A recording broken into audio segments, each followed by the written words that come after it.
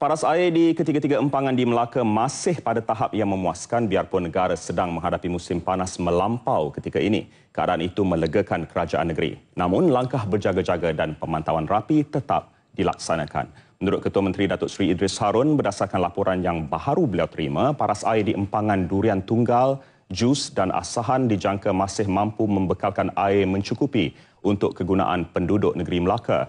Bekalan air di empangan durian tunggal kini di tahap 78%. Empangan jus pula 85% dan empangan asahan 98%.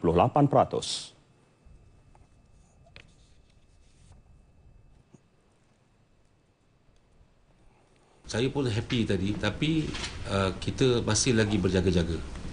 Kerana cuaca ini dia boleh panas berlarutan dan boleh menyebabkan uh, uh, sejatan air boleh menyebabkan uh, apa dia panggil ni uh, dehydration ya. Uh, jadi bila dia boleh berlaku itu kita takut juga kemungkinan uh, kekurangan air akan berlaku. Jadi saya dah minta semua pihak supaya berjaga-jaga. Datuk Seri Idris menyatakannya selepas mempengerusikan mesyuarat mingguan Exco Kerajaan Negeri di Kompleks Seri Negeri Air Keroh.